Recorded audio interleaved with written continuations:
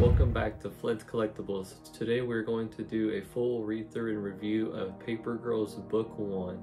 If you enjoy the content, please be sure to go down below and like, comment, and subscribe if you enjoy the content. Let's go ahead and dig in. Alright, so here's the front of the book. As you can tell, bright pink with like foil kind of looking letterings. I don't know if I can catch that in the camera. And then as you can see, this is like matte in the background and then all the, like the pterodactyl and the girls are in like a glossy look. And here's the spine, just like the rest of the image books we've read on here. And here's the back of the book with all this crazy artwork and the same thing matted with like a glossiness to all the things like the planes and the creatures and the people and it does have a price of $34.99. So let's go ahead and dig it. Right off the bat, as we open the book, it does have this like yellow with pinkish like fade to it. And then there's Paper Girls logo in pink with yellow background. And here's the opening. Writer Brian K. Vaughan, Cliff Chiang is the artist, colors Matt Wilson, letters Jared Fletcher. And there's the four girls. And then we start out with one of the girls in outer space. She's having this crazy thing happen that will be explained later on in the book. And is actually ends up being a dream that the girl's having. And then we get introduced to the first character, and each of the girls is a paper girl and they're delivering papers on Halloween. So we come to find out who each one of them is and their names. And how someone keeps taking their stuff and then they're going around chasing them, trying to find out where their stuff went. And they're just normal girls. It kind of has the feel of like Stranger Things in a way because there's four boys in that movie, but they're not paper boys. But this one's paper girls. And it's just them going through trying to figure out where their stuff is, and they end up coming across this machine that they don't know what it is. So they're trying to figure out what that is, and then in the time that that happens, you see the thing fires up, and they're like, what is going on? And then all of a sudden they go outside after they run, and you can see that they're just the sky looks different everything. And then there's those guys again that they're trying to track down and they don't speak like regular language. It's something you can't even read on the pages what they're saying. And there's one of them unmasked. So they're just trying to figure out what's going on where they are. And then they got an apple device that they're trying to figure out. So then we go into chapter two and then chapter two continues on where we left off right there. And here's one of those guys that took their stuff. So they're going back to one of their houses, trying to figure out what's going on, trying to come together and figure out what's happening and where they are and what this device has to do with anything. And they keep running across people, which kind of funny. That's a Guns N' Roses shirt. So here's them interacting with one of the boys and then there's these pterodactyls in the sky and they're all flying around so they're all working trying to take find a safe place to go. And then coming to one of their parents house except for she's like drinking and thinking about killing herself and then she doesn't and then bang as she saves her. So we find out what happens next there's this big portal in the sky now and now these other people in town are seeing what's going on and they're just all trying to figure out what's happening like what in the world is this pterodactyl thing and this guy that was riding it? And that guy's talking to somebody and they find out that instead of the mom getting shot one of the girls gets shot. And then she falls on the ground so then they're trying to help her the, they don't know how to drive and they're driving and they're taking her away. And then here's these guys we saw earlier. And then here's the girl that's got shot. what's going on in her head right now as she's like drifting in and out because she's lost so much blood. And this guy is here to try to help them, trying to take them with him.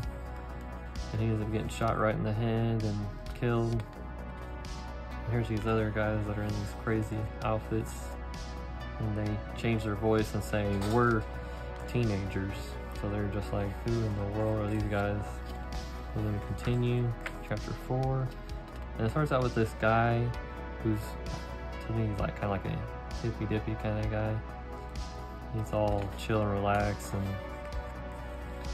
these people that are on the run of the pterodactyls are talking to him, and you find out that he's somebody like real important on a bigger mission than you can tell. And so they're these guys are taking them with her, trying to save the girl, and they're in the sewer and they're talking and they're fighting these creatures keep popping up like that one. One guy ends up getting shot, and they're trying to get her away. And this is a a panel of different things going on at the same time. Pretty cool. And then here's one of the girls saving another girl from this creature. These guys are just trying to get them away from all this and somewhere safe. So they're taking them into like this machine like they saw earlier. And they say, no, we can only take her inside with us. And then boom, they're gone. So they're like, where's our friend? And where they go? And then there's these other people trying to catch them. And then we go to the next chapter. And then she wakes up and they're in this big old warehouse and she's got all these things on her that are healing her. And these guys are kind of explaining what's going on, how, why they were there and what they're looking for. I'm gonna continue on. Now the other girls are having to fight off these people on these pterodactyls. And they're fighting them. And then this guy is talking to them and he's now you see him with all these different people and you're wondering well who's this guy what's he got to go on to there's these crazy visions going on and then there's these guys that are saving her and they end up sacrificing their life to save her and get her back to her friends so then she's back with her friends and then now this guy showing up and they're taking an examination of what's going on and what to do next. And the girls end up jumping again in that ship, except for now their friend that they just is one of their friends is gone. And then now this girl shows up and you find out that it's one of the girls, but she's an older version. So then it continues on to her taking them with her, and then it shows like when they first meet, and then they're figuring out who each other are, and, and then she's the younger version of this girl. And they both have the same scar from getting shot when they got healed by that thing. So that's how she knows they're not just making something up. And then here's this guy again and they're just really trying to figure out what's going on and they're so confused and this girl's all this older version of herself is all stressed out and she's living a life that's pretty rough and, she, and she's just getting by this person shows up completely vaporizes that guy and now she looks like the girl that there's a younger version and then there's the older version. So now they're trying to figure out what this Apple device does and what it is. So now we go to the next chapter.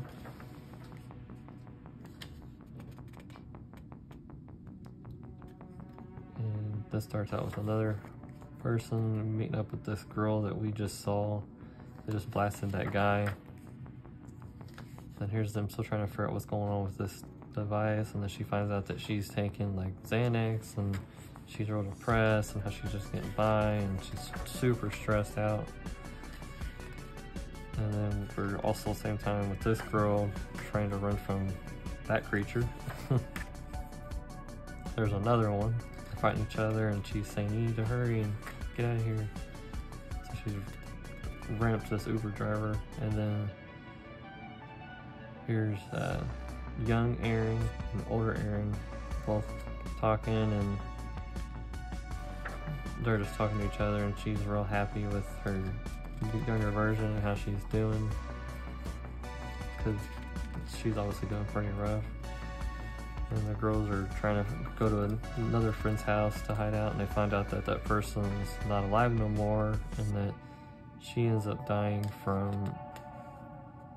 um, I think it's leukemia or lung cancer, or I think it's leukemia. Yeah, leukemia. So then she's freaking out because now she sees herself as death. What that image is from. And then we go to the next one. And then here's them in, inside of an abandoned mall trying to find their friends.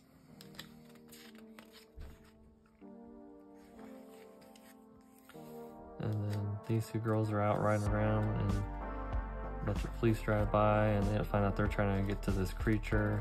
And there's that girl that blasted that guy earlier. And she's like, you gotta hurry and get out of here and the police are going towards that person. And this kind of uh, this is kind of a cool like throwback to KB Toys, like the old toy store. So they're trying to go in there. Because there's something that they need. So while the other girls are trying to find them, they end up coming across this creature, which then now they run into this other Erin, but they don't know who she is yet. Then they end up finding this hockey stick up in the ceiling that older Erin pulls down and it says don't trust other Erin. So then she's like, well, which one? Which she knows the older version. And then it starts out with this girl. Now she's helping them fight off this creature while they're trying to figure out what's up with this hockey stick, and the other side says, get to the fourth folding now.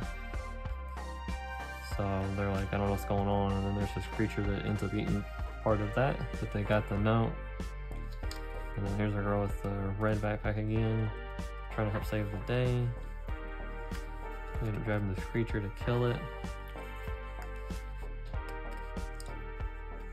And then talking. Now here's another person flying over the whole situation in a helicopter. And now there's this big old like blimp looking thing like Zephyr. And now these people are trying to figure out who each other are and which one's which.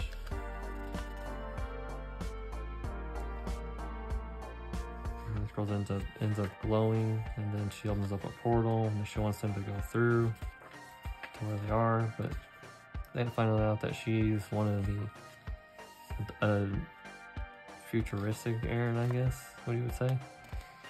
So they're trying to figure out what's going on. Then now we're inside the blimp, and that's where this guy is at with his people trying to catch these girls at the same time. And then this girl gets tired of the situation, so she ends up blasting the older version of Erin and then they're like, no, we're not going with this girl. So they end up getting into a fight, and they end up pushing her into the portal, and then they end up saving older Erin. And then here's one of Erin's friends in the helicopter that's coming to save her, and she's like, oh my gosh, she's like the little version of you. While these guys on the pterodactyl are just picking up people and then storing them. So now they took the right side because they didn't trust the one Erin that was bad. So now they're all trying to figure out what their next plan is. And their plan is to, there's a portal open, but they gotta fly up and jump to it. So as the creatures take over this helicopter, they jump through this portal And now they're in a different place, which looks all peaceful. And there's their other friend. And she says, You made it. She says, I just got here. And while the other three girls are like, Well, how's that possible? And then it says, We're alive and to be continued. So now the art gallery. So there's Erin, KJ, Mac, and Tiffany. That's some cool artwork. Here's a teaser art. And some different covers from Comic Cons. And here's a postcard. There's college sketch prizes. a promotional sketch. This is kind of cool. It's like just the cover, how they did it differently and ended up coming with the last design for the book. And then these are like different rough sketches of the actual comic covers. Plus some more rough sketches. And then there's some sketch work.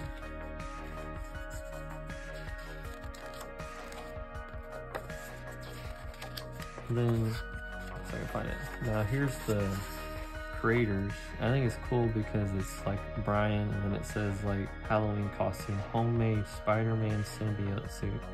And then Cliff, it says favorite NES game, Contra, Double Dribble, and Metal Gear. And then Matt, favorite toys, Battle Beast, Mass, the Centurions, G.I. Joe, and Team TMNT.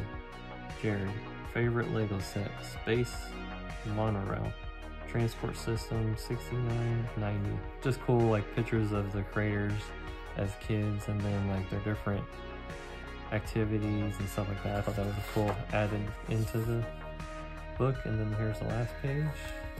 And there we go. All right well there it is paper girls book one my final thoughts have to be that i really enjoyed the story i actually started reading this because i watched the amazon prime show and I really enjoyed it. It wasn't like compared to Stranger Things, which is like four boys, like I said earlier. It was four girls and they were paper girls, but I wanted to give it a shot and I enjoyed the show to watch. I have to say though, I really enjoy the book more. The story kind of follows a different path, kinda, and just some differences in the two. And I really enjoyed the book just really easy to read and it's real cool to see the different stories of the girls and I can't wait to see like what book two has because I have not read it and just to figure out who the guy is that's like the hippie type dude and the big old like balloon thing in the sky and just like what's the story behind the different versions of the different girls and different timelines and different foldings and what's going to happen next and because there are some things in the show in season one that wasn't in book one so i'm kind of curious to see if those are in book two or, or even book three i think there's three books. But in my opinion i definitely recommend to read this book if you enjoy it. It's just an easy read fun. It's like 80s i think type atmosphere. So I highly recommend it, and until next time, peace.